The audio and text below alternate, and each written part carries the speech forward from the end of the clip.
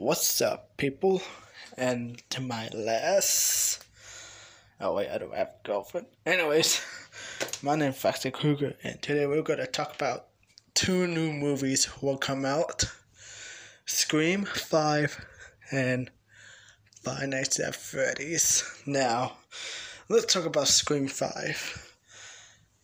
I, the actor that plays Sidney Prescott is going to come in the movie, and also the guy that played Doofy.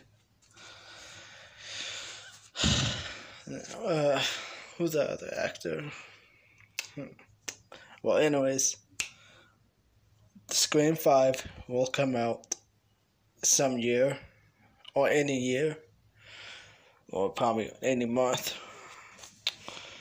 Uh, yeah, I just don't know when it's gonna come out, but this is just an update. It's just an announce. It's just an announcement. It's a movie update though. So yeah, Scream Five is gonna come out. Now let's talk about FNAF.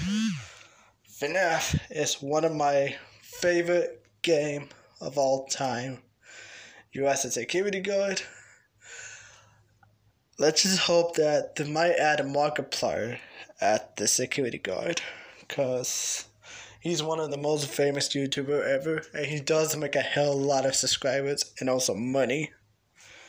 So yes, we want Markiplier to be as a security guard, and let's just hope that there might be a a good animatronic looking. Well, yeah, I mean the banana splits took the spot, but anyways, this is about Blumhouse Studios that making a FNAF movie. Yeah, so uh so anyways, that's just all for now. I'm just giving you an update. So press the like button if you really want to see those movies and also subscribe. I'm Foxy Krueger and that is all. Don't let me catch you in your dreams.